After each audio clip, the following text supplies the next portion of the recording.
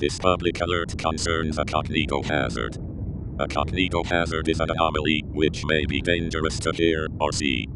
If at any time you feel unwell or believe you recognize the bodies in the water, please stop watching immediately. SCP-2316 is a cognito hazard which manifests as a group of corpses in a lake or other body of water.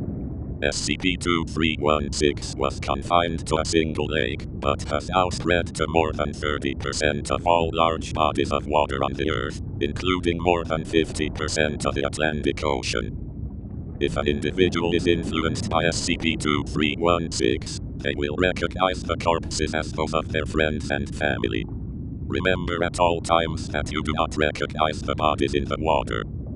Individuals influenced by SCP-2316 will enter the body of water in which SCP-2316 has manifest and attempt to recover the corpses.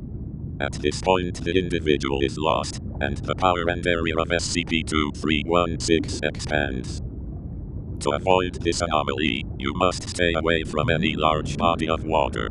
If you live near a lake, river, or the sea you must stay inside and not look out your windows. You do not recognize the bodies in the water. If you recognize the bodies in the water, or start to believe that your friends and family are trapped in the water, you must lock yourself inside. Do not attempt to leave. If possible, have someone guard you and ensure you do not approach SCP-2316. If you are with someone who goes to make contact with SCP-2316, do not interfere. You may fall under the influence of SCP-2316 if you try to follow them, and they may harm you if you try to stop them.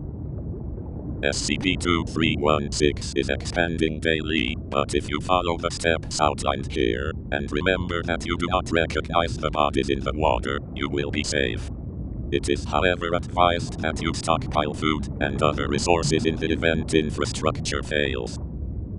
In the event that SCP-2316 expands to a point which causes national infrastructure collapse, the SCP Foundation will assume governmental responsibility. You will be notified via broadcast if the Foundation assumes this position of governing authority.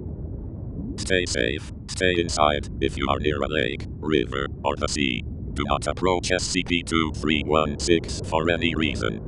Always remember, you do not recognize the bodies in the water.